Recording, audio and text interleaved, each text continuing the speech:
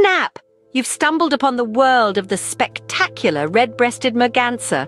This waterbird, with its punk rock hairstyle, is more than just a pretty face.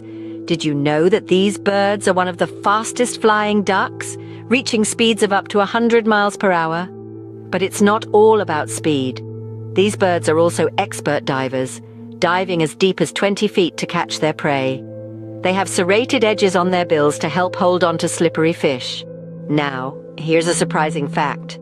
Unlike most ducks, red-breasted mergansers are known to breed in tree holes. Yes, you heard it right, tree holes. So the next time you spot this punk rock bird, remember, they're not just style. They're all about substance too. Dive back soon for more fascinating bird facts.